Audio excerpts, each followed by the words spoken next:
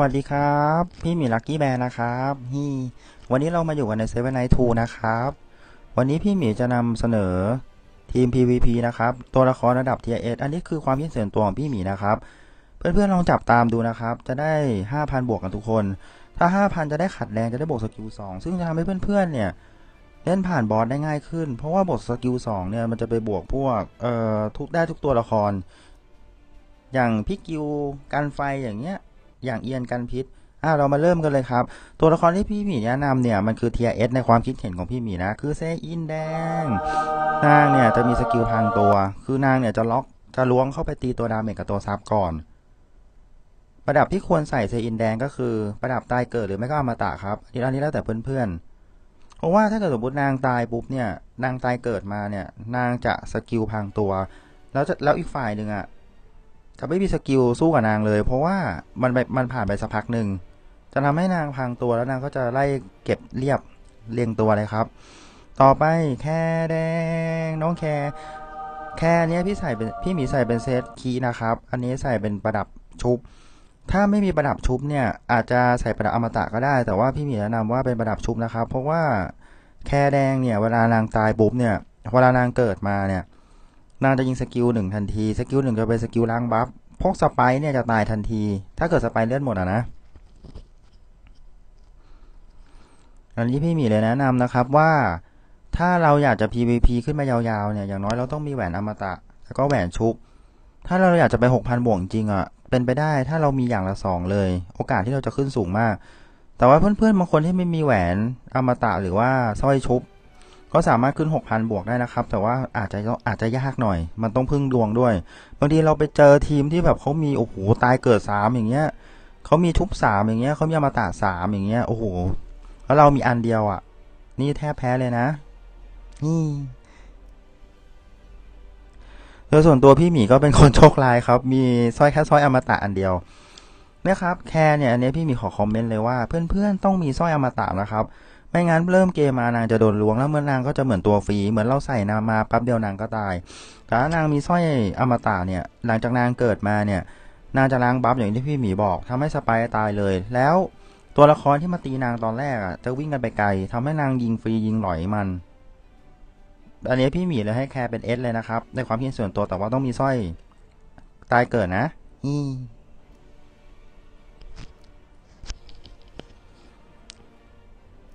แล้วก็เซแดงนี่พี่หมีลืมแนะนำให้ใส่เซตคีนะ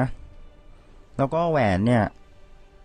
ใส่เป็นแหวนที่เวลาเราโดนดีบัฟเวลาเราเดินไม่ได้มันจะเป็นอมตะ อันนี้ทุกคนต้องมีทุกคนครับ มันจบมันได้บทก้าวยากมาก ถ้าพี่หมีจำไม่ผิดนะฮี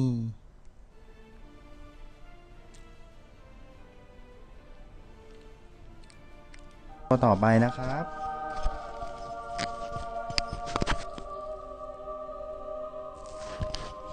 นั่นก็คือไอรีนร่างสาวนี่เอง ติ้งติ้งติ้งติ้งติ้งติ้งติ้งติ้งหลายคนบอกหลายคนได้นางแล้วบอกไม่ดีจริงๆนางดีมากนะครับ เพราะว่า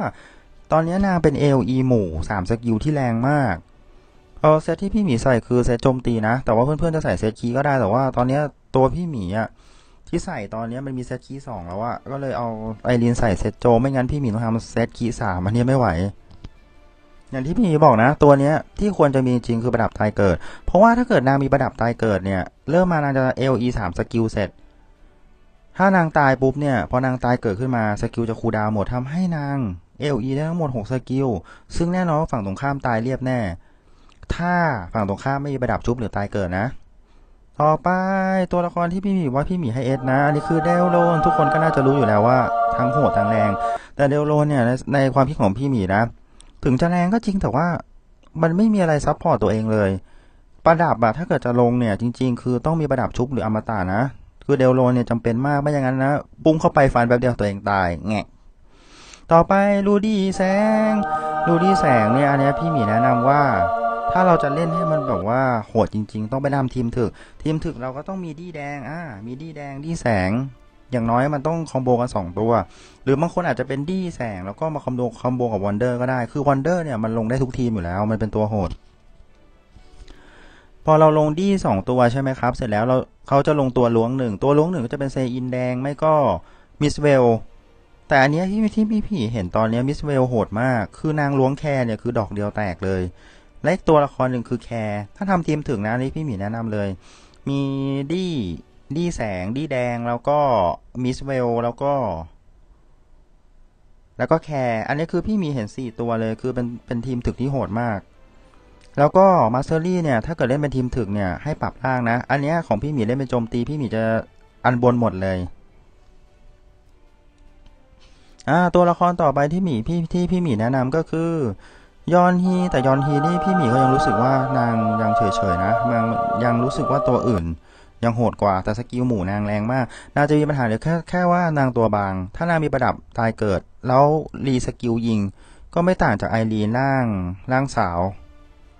ต่อไปไอรีนร่างแม่ไอรีนร่างแม่ คือนางเนี่ยเอาจริงๆ คือเป็นตัวที่ top มากนะใน PVP คือนางไม่ต้องมีประดับชุบ นางมีสกิลชุบอยู่แล้ว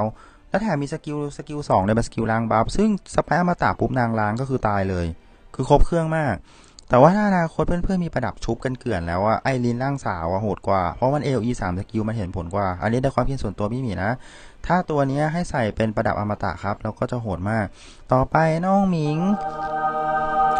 น้องหมิงเนี่ยความคิดเห็นส่วนตัวมันเหมือนเอาไว้ combo ทีมากกว่า มันต้องมีวันเดอร์มันถึงจะโหด เพราะว่าวันเดอร์เนี่ยลากมาหมิง stun ต่อแล้วก็แคร์ยิง LE 3สกิลคือตายแน่นอนครับ อ่าต่อไปสำหรับพี่หมีวันเดอร์อันนี้พี่หมีไม่มีนะ แต่ว่าอันนี้พี่หมีเจอบ่อย เลยจะบอกว่าถ้า TIS บวกตอนนี้ที่พี่หมีให้เลยเนี่ยจะเป็นวันเดอร์กับสไปทำไมวันเดอร์มันถึงเทพ เพราะว่ามันมีสกิลเนี่ยอมตะสกิลแรกสกิลสองเป็นสกิลตีเดี่ยวแล้วแรงมากนะ คือโดนทีเดียวนี่คือแตกเลย ส่วน skill ที่3เนี่ยจะเป็นสกิลดึง ถ้าเกิดคอมคอมดีๆเนี่ยบางทีอะวันเดอร์มันรวบทีเดียว4ตัวเนี่ยแทบชนะเลยนะ ประดับที่วันเดอร์ใส่คือประดับชุบครับผม แต่ถ้าเพื่อนๆไม่มีชุบก็ใส่อมตะได้ เพราะว่าถ้าเกิดสมมุติวันเดอร์ใส่ชุบขึ้นมาอย่างเงี้ยพอมันดึงเสร็จอมตะ แล้วพอมันตายพอมันพอมันตื่นขึ้นมาเนี่ยมันจะรวบต่อรวบเสร็จอมตะต่อ เหมือนแบบเก่งอะเอาจริงๆคือสำหรับพี่หมีวันเดอร์เนี่ยพี่หมีให้เป็น God of God of War เลยอันดับหนึ่ง อันนี้คือความคิดเห็นส่วนตัวนะมิสเวลมิสเวลเนี่ยเหมือนเซแดงเป๊ะเลย คือเริ่มมาเนี่ยนางจะ blink เข้าไปตีก่อนเหมือนเซอินแดงเป๊ะ แต่เท่าที่พี่หมีดูนะ นางแรงกว่าเซอินแดงนะนะตอนนี้ นาง blink เข้าไปเนี่ยคือนางตีปุ๊บเนี่ยมันจะติดใบ้ ของเซอินแดงเนี่ยจะเป็น blink เข้าไปแล้วก็ตีติด stun อ่าแล้วก็อ่าต่อไปสไปคุงแต่แน่ๆๆซึ่งทุกคนก็รู้อยู่แล้วว่าสไปมันโหดมากครับ มันเหมือนเป็นตัวที่พี่หมีว่าพี่หมีให้อันดับสองรองลงมาจากวันเดอร์นะ เพราะว่า มันมีประดับอมตะที่แบบว่าไม่ต้องไปหา แต่ว่าตัวเองก็มี เรียกได้ว่าทั้งแข็งทั้งแรงหนึ่งสองก็ยังได้หนึ่งสามก็ยังได้ แถมอมตะอยู่นาน แถมถ้าเกิดอีกทีไม่มีตัวล้างบัฟหรืออะไร สไปก็ยืนยงสบายเลยครับ ซึ่งอันเนี้ยเพื่อนๆทุกคนก็คงจะเบื่อท่าสไปกันใช่ไหมครับ พี่หมีก็เบื่อ เอาเป็นว่าตามนี้ครับ อ่ามาดูในส่วนของ PVP เอ่อสัตว์เลี้ยงนะครับ เพราะว่าถ้าเกิดพูดถึงว่าเราจะ PVP ไปไกลเนี่ยยังไงเราก็ต้องมีสัตว์เลี้ยงครับผม อันนี้พี่หมีแนะนำนะครับ สัตว์เลี้ยงอะที่ดีที่สุดอะของ PVP ตอนนี้คือราเชลนะครับอ่าเห็นรูปข้างขวาไหมครับ อันนั้นคือสัตว์เลี้ยงแดงตัวใหม่ครับของเกาหลีนะครับ อีกไม่นานก็จะเข้าไทย เพราะฉะนั้นเพื่อนๆ ถ้าเกิดเพื่อนๆ คนไหนที่แบบว่า เออ ยังไม่มีแดงอย่างเงี้ย หรืออาจจะมีตัวหนึ่งไม่ต้องรีบหาตัวอื่นก็ได้ครับ เดี๋ยวรออีกสักพักหนึ่งจะมีตัวเทพเทพมากกว่านี้มาอีกเยอะครับ แต่ว่าของพี่หมีเนี่ยเนี้ยพี่หมีมีอีวานนะ ถ้าเกิดถามเรื่อง arena สัตว์เลี้ยงตัวไหนดีสุดคือสัตว์ที่มีอมตะสี่วิครับณตอนนี้นะ ก็จะมีลาเชลลาเชลนี่พี่หมีให้อันดับหนึ่งเลยรองมาก็จะเป็นอีวาน เพราะว่ามีบล็อกยี่สิบเอ็ดแต่มีอมตะสี่วิเหมือนกัน แล้วตัวต่อไปก็คือลูดี้ลูดี้ก็จะอมตะสี่วิเหมือนกัน แต่ว่ามันจะบวกเป็นป้องกัน พี่หมีมองว่าบล็อกดีกว่า และและที่ที่ที่ชี้อยู่ตอนนี้มันคือสัตว์ในตำนานครับ มันจะเป็นแดงบวก ซึ่งเราจะต้องมีตัวแดงซ้ำสามตัว แล้วมาผสมกันให้ออกโหยากมากอ่าเรามาดูในส่วนของ PVP ดีกว่าครับ ก็จะเป็นไง โอ้โห เป็นไงแค่ซอยยิกยิกยิกยิกนี่อัดเข้าไปอัดเข้าไป โอ้ อนนี้ไอรีนฝั่งตรงข้ามตายแล้วครับวันเดอร์ฝั่งตรงข้ามตายแล้ว โอกาสชนะสูง แคร์จะทำได้ไหมแคร์จะทำได้ไหมพัวเรียบร้อยครับผมแมตช์แรกอ่าโดยส่วนของทีมพี่หมีเนี่ยทีมทีมพี่หมีจะเป็นทีม speed นะ ก็คือแผนตีไว ตอนนี้เลเวลเก้าเดี๋ยวจะเป็นเลเวลสิบตัวละครที่พี่หมีลงลงทีมพี arena เนี่ย พี่หมีจะเล่นเป็นทีมโจมตีเลยก็คือมีเซอินแดง มีไอรีนร่างแม่ เอ้ยร่างสาวแล้วก็สไปแล้วก็แคร์อันนี้คือมีประดับแค่ชุบชีวิตอันเดียว ก็เลยให้แคร์ใส่ จริงๆ อยากได้อมตะกับชุบมากถ้าได้อย่างละสองนี่ขึ้นหกพันสบายๆอ่าเดี๋ยวเรามาดูกันนะครับว่าเป็นไง เรียบร้อย เห็นไหมฮะ ถ้าเราเล่นเป็นทีมทีมโจมตีเนี่ย มันจะไวมาก คือรู้ผลเลยอะถ้าเกิดเราฝ่ายเราไม่ตายฝ่ายเขาก็ตายฮี่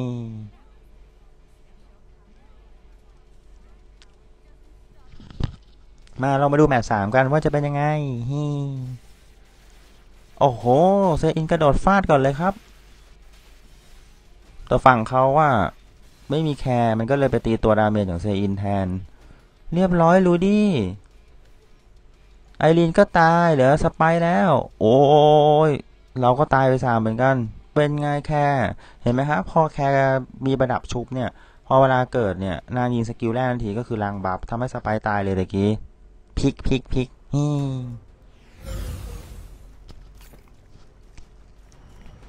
อ่า ก็จบกันไปแล้วนะครับ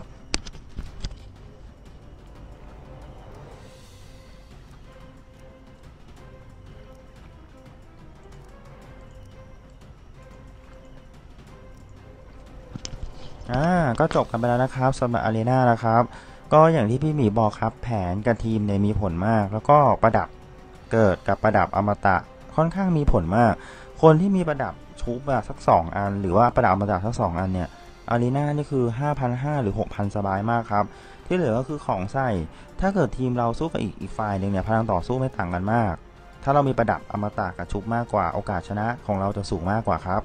นี่หวังว่าจะช่วยให้เพื่อนๆ 5,000 อารีนา5,000 บวกทุกคนนะครับ เพราะว่า ถ้าอารีนา5,000เนี่ย หรือ5,500เนี่ย จะได้บี้ต่ออาทิตย์หนึ่ง3,400บู3,400เลยนะ โอ้ซึ่งจะทำให้เราเนี่ยเก็บสะสมอาทิตย์หนึ่งได้3,400ถ้า1เดือนเนี่ย เราก็ได้เกือบหมื่นสามหมื่นสี่เลยนะ ซึ่งเป็นไม่หมีมองว่าเป็นอะไรที่ดีมากครับอืยังไงก็ขออวยพรให้เพื่อนๆได้ห้าพันทุกคนนะครับ จะได้เข็มขัดแดง เอาไปใส่ลุยบอสด้วยได้สบายๆนะครับ ยังไงก็ฝากขอบคุณมากนะครับ ฝากกดติดตามกด subscribe ด้วยนะครับ เดี๋ยวคลิปต่อไปเนี่ยจะเป็นคลิปเกี่ยวกับเนื้อเรื่องเซเว่นไนทูนะครับก็อยากพี่หมีก็อยากให้เพื่อนๆติดตามนะครับ ยังไงก็ฝากกดติดตาม แล้วก็เดี๋ยวมาดูพี่หมีทุกวันนะครับ จะมีคลิปลงทุกวันขอบพระคุณมากนะครับ สวัสดีครับฮี